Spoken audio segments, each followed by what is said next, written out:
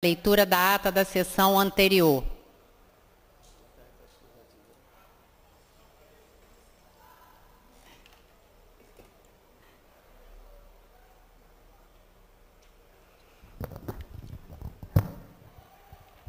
É, boa tarde, senhora presidente. 59 minutos.